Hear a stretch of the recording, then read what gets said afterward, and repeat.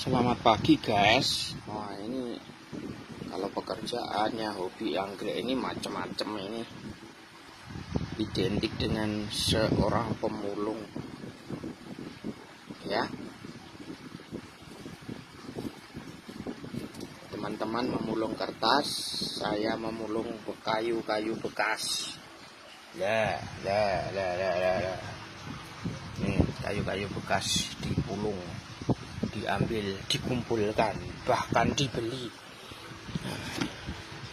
Mudah-mudahan bisa berguna. Walaupun ini banyak yang terlalu kecil.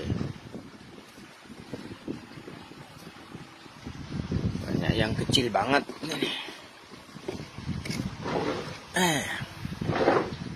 tapi semuanya akan menjadi antik kalau nanti sudah ditempeli anggrek-anggrek yang cantik ini adalah rongsokan atau fosil fosil dari kayu ulin.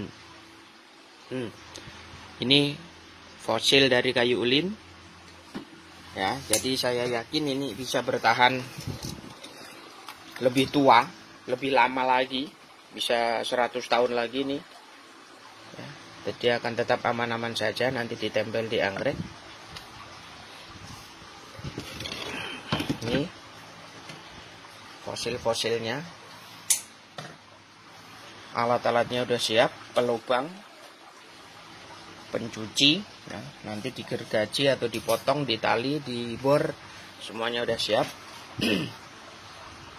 Saya ada beberapa alat ya. Pengamplas juga siap. Pemotong juga siap. Nah ini terima kasih salam sehat buat kita semua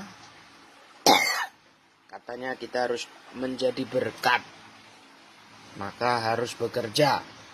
Kalau kita malas alias mengoler, pemalas itu jelas berkat dari mana.